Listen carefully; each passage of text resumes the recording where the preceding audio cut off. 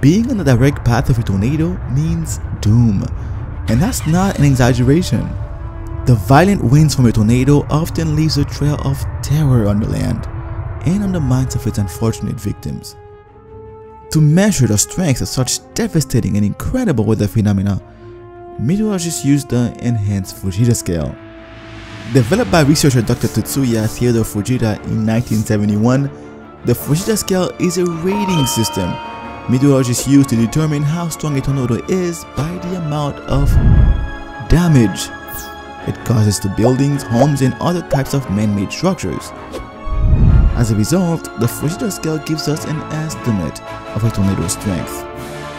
For example, even if a tornado generated winds of over 300 miles per hour, it would have a much lower rating if it remained in the open fields and did not damage any structures. Now, what are the benefits of the Fujita scale?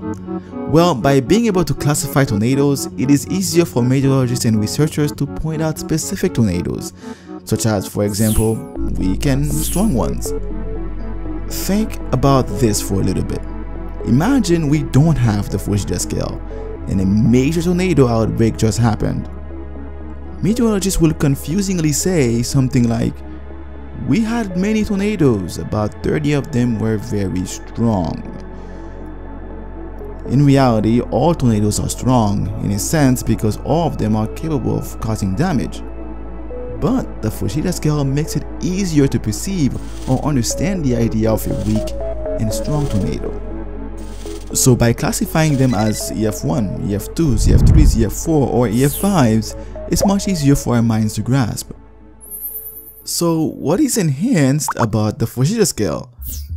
Well, as indicated by its name, the Fujita scale was eventually enhanced or improved. During the decades after the Fujita scale was initially released, it became apparent improvements needed to be made.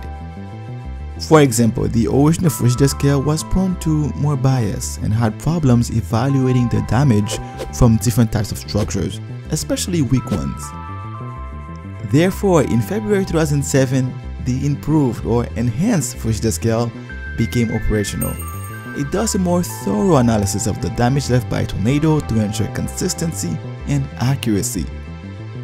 So the enhanced Fujita scale is for tornadoes, but the Saffir-Simpson scale is for hurricanes. How does that work?